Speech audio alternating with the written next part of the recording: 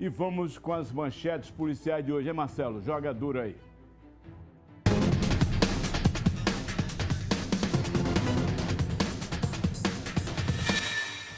Secretaria de Segurança Pública, mudanças de secretário. Sai João e entra João. Daqui a pouco, não é? E a superintendente, diretora-geral da polícia, Catarina Feitosa. Assalto à mercearia no Augusto Franco. Polícia já identificou os elementos que assaltaram hoje de manhã, não foi? Os caras amanhecem o dia já assaltando, pô. Não tem como. Vão é, acorda cedo para trabalhar já, certo? A mãe, bora, vai assaltar. Vai logo. Dois adolescentes de 17 anos de idade foram apreendidos por assalto na cidade de Lagarto. Adolescente também apreendido por tráfico de drogas na Taiçoca de Fora. Também preso, não é?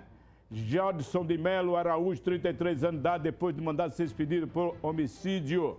Também preso por tentativa de homicídio lá em Santana de São Francisco. Três elementos foram presos por assalto de porte legal de arma na cidade de Lagarto. Essas e outras notícias a partir de agora, não é?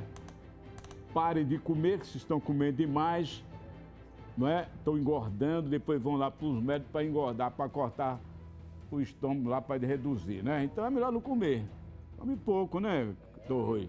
O povo come demais. Alface. Come, come alface. Né? Verdura. O nego bate uma lapa de uma feijoada. Eu vou nessa churrascaria, eu fico impressionado. Eu fico impressionado como o povo come. No ar, tolerância zero. Zero para comida. Devagar. Na tela.